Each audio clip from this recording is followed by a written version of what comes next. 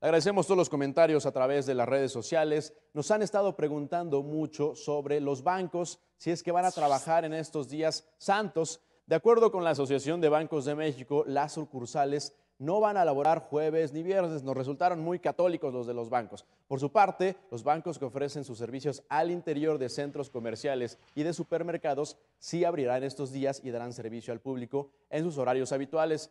Usted también podrá hacer uso de la banca digital electrónica y telefónica, ya que elaboran las 24 horas del día, los 365 días del año.